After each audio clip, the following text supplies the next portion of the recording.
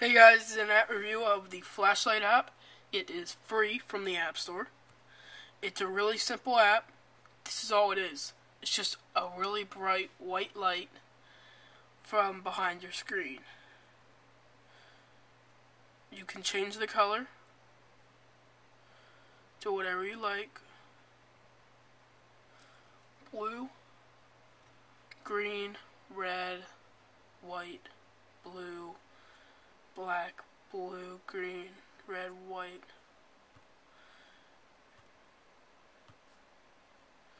I forget, can you tap it?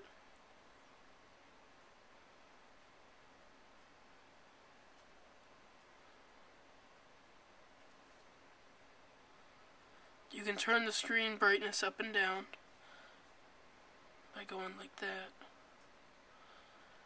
And yeah, guys. It's called Flashlight from the App Store. It's free. Yeah, guys. Comment, rate, and subscribe. Thanks. Peace.